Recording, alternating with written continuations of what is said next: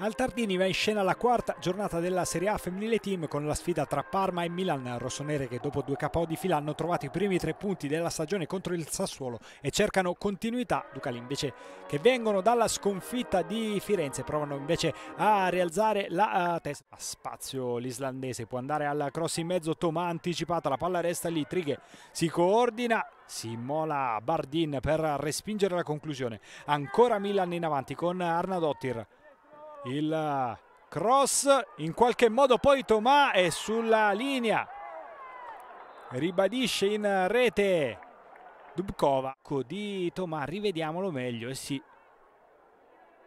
eh sì qui punta Santoro. Palla per Aslani prova a entrare dentro l'area. Aslani il cross in mezzo il colpo di testa e l'intervento provvidenziale di Capelletti che nega il gol a Bergamaschi per Tomà, dentro l'area Tomà, l'appoggio ancora per eh, Trighe.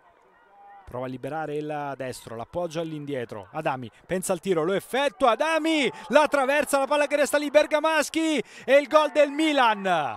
Il Milan passa al sedicesimo minuto di gioco. Stavolta Bergamaschi riesce a trafiggere Capelletti.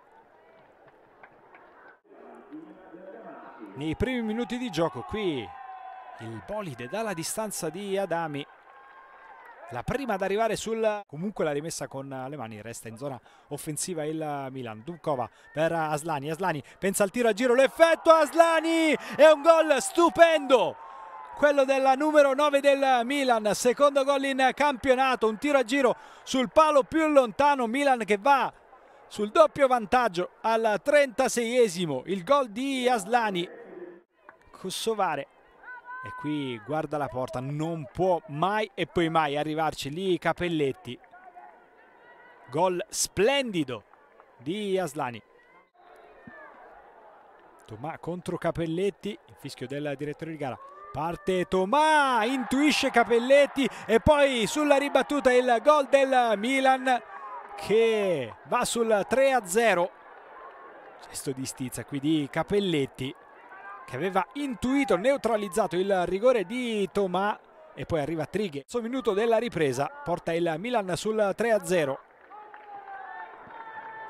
Anche in questo caso però chance da calcio piazzato con il pallone lungo a cercare il colpo di testa e il gol di Dubkova 4-0 per il Milan 4-0 con il colpo di testa di Dubkova salta più in alto di tutti al 79 minuto di gioco. Suggerimento di Tucceri Cimini. Prende bene il tempo proprio sulla entrata Giovanna Maia. Dubkova a campo, punta Cox. Si fa vedere Vigilucci dentro l'area. Vigilucci prova il diagonale. Tucceri Cimini. E altro gol annullato per fuorigioco, in questo caso a Tucceri Cimini. Siamo già oltre il terzo di recupero. E infatti arriva il triplice fischio del direttore gara, finisce qui il match, il Milan vince 4-0, seconda vittoria consecutiva per le rossonere, secondo KO di fila.